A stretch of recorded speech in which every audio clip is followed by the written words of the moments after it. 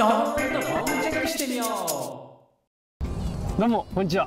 いつ いつもお世話になってるいつもモデルちゃんをもう美しくしていただいて。ハミさんは、はい。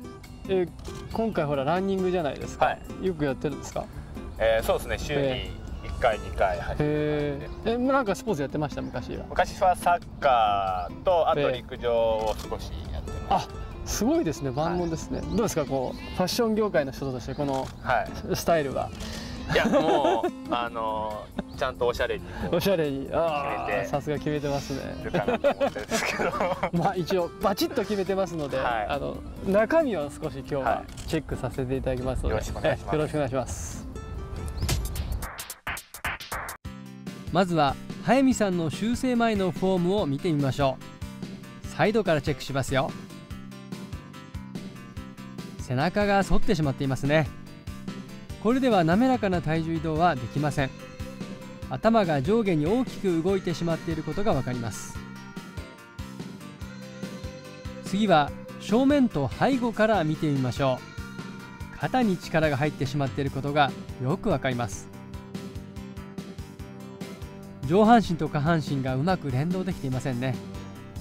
上半身の力を下半身に伝える骨盤を動かせていない点にも問題がありそうです。ワークアウトで修正していきましょう。いやさすがですね。あの結構ねやっぱサッカーと陸上やってたからってバネがある、あありがとうございます、えー体の軸もしっかりしてただねはい。仕事柄かどうかありませんけどすごいね肩に力入って腕振ってるんですよね、あうん、あの上半身と下半身はしっかりしてるんだけどちょっとバラバラに動いてるんですよ、はい。だから骨盤があんまり動いてないので、はい。まずねここをほぐす感覚を。じゃあねちょっと座ってください、えっと足伸ばして座ってください、ええ ちょっとまず肩からほぐしましょう。え足まっすぐちょっとしてください、はい。はい、でじゃあ力抜いていいですよ。はい。こう押さえてますんでギューってあ上げてください肩を。ギュー。あー凝ってる凝ってる上げて上げて上げて。はい力抜いて。うわこれは重症だ。はい上げてください。上げて上げて。上げて上げて。もっともっともっともっともっともっともっともっと。もっとあーしいやもっと上げてはい。よいしょ。はいはいそして。少し楽になってきましょ。う楽になってきました、はい上げて。はいもっともっともっともっともっともっと。あーオッケーよいしょと肘を後ろにぐるぐる回して大きく回しましょう。背中背中そう。大きく大きくぐるぐるぐるぐる回してそうそうそう。そうそうそう。これもね入れた方がいいです時々。はい。背中の筋肉今使ってう。うんうんそうそう後ろを使う。どうしてもここに力入っちゃってるからいつも。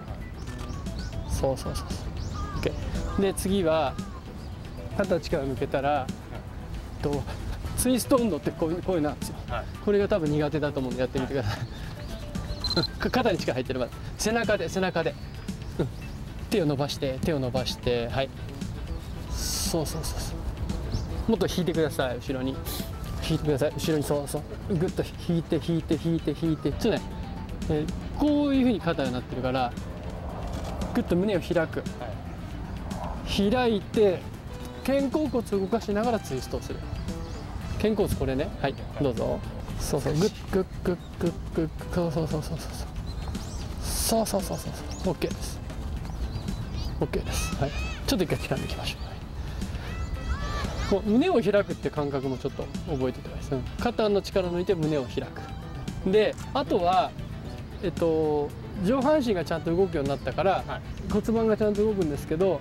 えっと、まだね 足で走る癖が残ってるから、はい走る時ってのはね前傾をしたらその前傾のエネルギーだけで前に進むんですはい倒れてください。倒れてください。い。や足かかとつい。たまま大丈夫です僕持ってるから倒れてください、思い。っきり倒れてください。はい。そうそうはい。はい。ぐーっ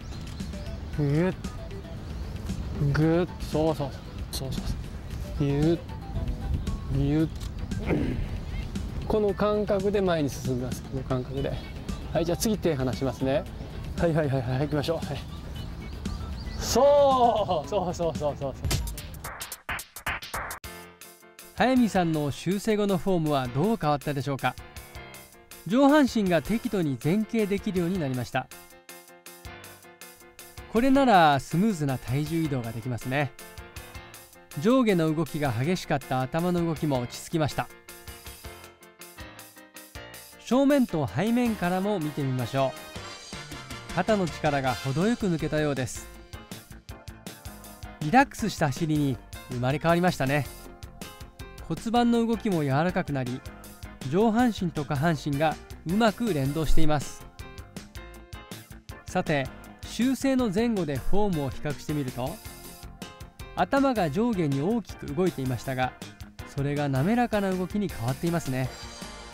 上半身の前傾もきちんとできています。正面や背後から見ると肩の高さが変わったことがよくわかります。これは肩に入りすぎていた力がうまく抜けたからなんですね。